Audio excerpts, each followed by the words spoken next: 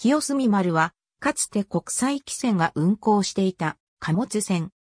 太平洋戦争では、特設巡洋艦及び特設運送船として運用された。1919年7月、川崎造船所で建造中のストックボートや委託された造船所所有船などを船体の主力とし、遠洋航路経営のために川崎造船所や鈴木商店などが出資した国際汽船が創立された。2年後の1921年には同じような目的で設立された川崎汽船や川崎造船所船舶部と航路の共同運営を開始。K ラインの始まりとなる。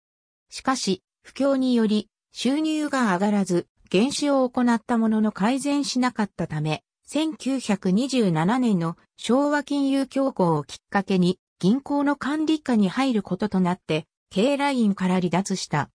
その後、さらなる減資や利息の支払い猶予などの救済策、低性能線の整理などが講じられた結果、経営状況は改善。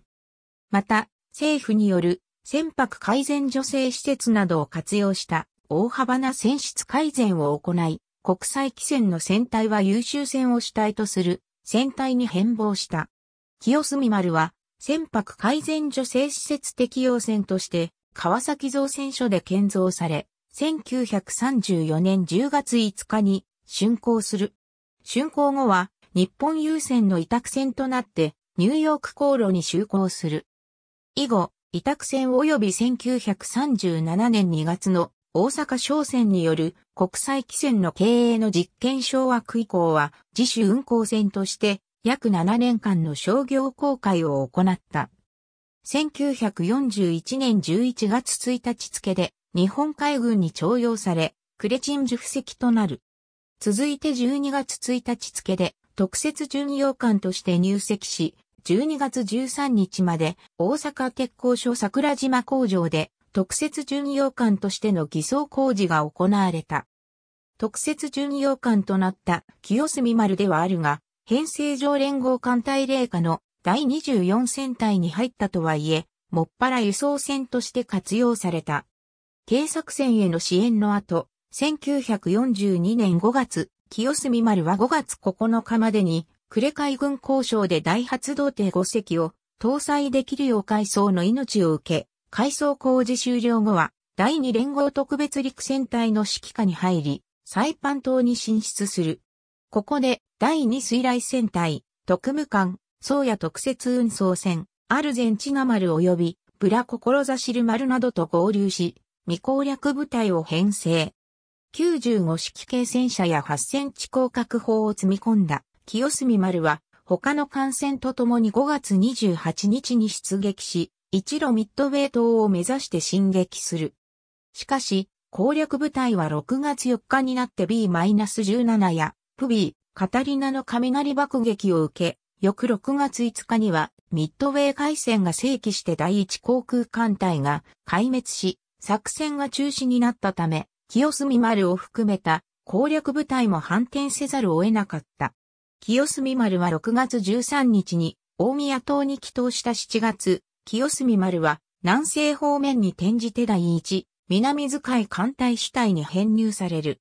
7月31日にメルギーに進出し、インド洋で通商破壊を行う B 作戦のため待機。しかし、待機中の8月7日にガダルカナル島にアメリカ軍が上陸したことにより状況は一変して B 作戦は中止となり、清澄丸は湘南に引き返した後、8月25日付で連合艦隊付属に戻った。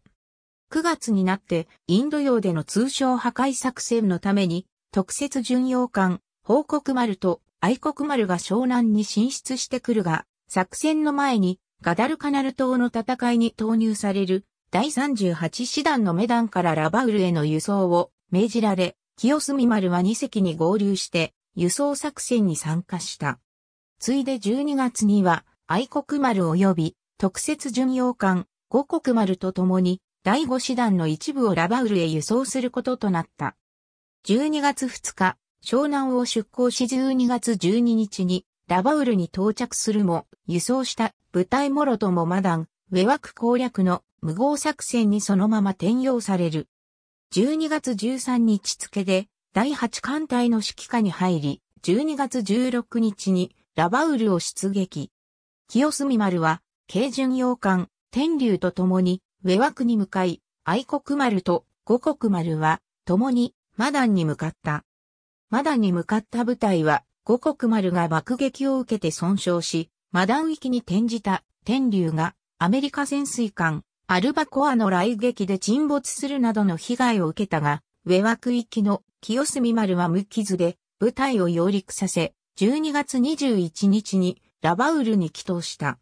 1943年1月、清澄丸は第6飛行士団用の軍需品輸送のため、横須賀からパラオに向かう、兵2号輸送に従事する予定だったが、軍需品の到着が遅れたため輸送作戦は中止となった。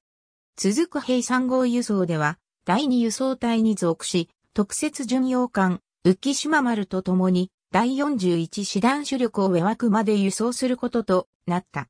しかし、途中のパラオで編成外が行われ、清澄丸は愛国丸及び五国丸と共に第2輸送隊を編成。2月19日、第2輸送隊はパラオを出港して、ウェワクに向かうが、干渉外に出たところで、アメリカの潜水艦ランナーの攻撃を受けるも、水上偵察機の対戦攻撃により、ランナーを損傷させて事なきを得た。第2輸送隊は2月22日に、ウェワクに到着し、物件を陸揚げして任務を完了。この時点で、すべての輸送作戦は終了し、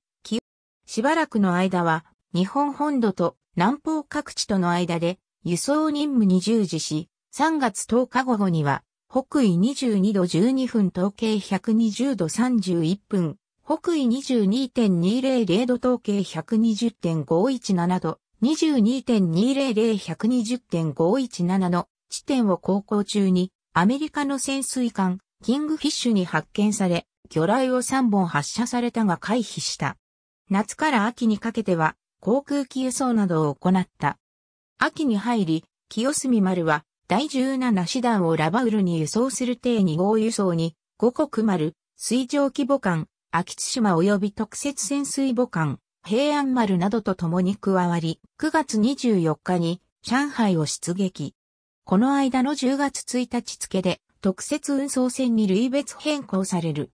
任務終了で5章に戻った後、今度は第17師団の残余兵力を輸送する日のと4号輸送に五国丸及び第14戦隊の軽巡洋艦2隻と第2輸送隊を編成して参加。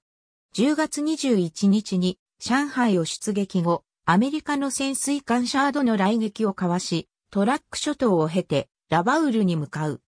しかし、11月3日にカビエン北北東の海域で B-24 の爆撃を受けた。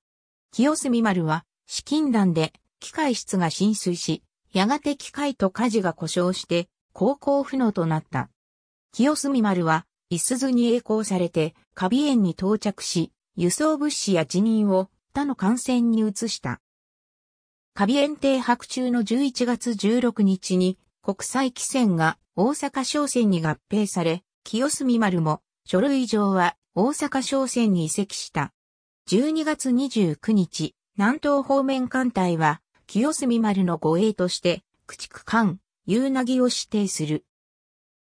12月30日、カビ園に夕凪が到着。同日正午、3隻はカビ園を出港してトラックに向かった。1944年1月1日、北緯04度32分統計147度23分、北緯4.533度統計147.383度4.533-147.383の地点に差し掛かったところで、アメリカ潜水艦、バラオの攻撃を受ける。バラオは、魚雷を6本発射して3つの爆発を確認。清澄丸は、前方に被害を受け、舵と推進機が海面上に露出するほど全部を沈めたものの、傾斜は復元した。だが、夕凪一隻では栄光できず、連合艦隊は第14戦隊司令官、伊藤健三少将を指揮官とする、成長丸級南隊を編成し、またカビ園輸送任務に従事していた、京順、大淀と、秋月が宅地区間一番間、秋月も、成長丸救難に一時従事した。清澄丸は、各間の協力を得て、トラックに入港することができた。その後は、夏島の北側で、工作艦、明石の傍らに闘病して、修理の順番を待ったが、この際に15センチメートル砲はすべて取り外された。2月17日創業、アメリカ第58任務部隊の関西機の空襲を受け、爆弾一発が船体を貫通して爆発し、7時42分、清澄丸は左に倒れて沈没した。3月31日付で除籍及び海洋。現在、成長丸は夏島の西、水深25メートルの海底入限を上にして、横転状態で沈没しており、1番戦争の右舷側、2番戦争と3番戦争の間の船底に波光が見られるが、その他は原型をとどめている。清澄丸とする資料やサイトもある。しかし、日本汽船名簿、清澄丸での振り仮名は、清澄と巣に濁点を振っていない。この時、国際汽船では、第一次船舶改善助成施設で、清澄丸の他に、カノ丸と金剛丸を建造しているが、船舶改善助成施設実績調査表では、清澄丸が播磨造船所で、金剛丸が川崎造船所で建造となっている。造船所建造番号は、清澄丸が川崎造船所第583番線、金剛丸が播磨造船所205番線であるが、船舶改善助成施設実績調査表では、金剛丸と清澄丸が入れ替わっている。ただし、日本汽船名簿、清澄丸と日本汽船名簿、金剛丸での記述や、船舶改善助成施設実績調査表の作成時期から察すると、船舶改善助成施設実績調査表の単純な誤りの他に、国際汽船が何らかの理由で両船の名前を浸水前に入れ替えた可能性がある。ありがとうございます。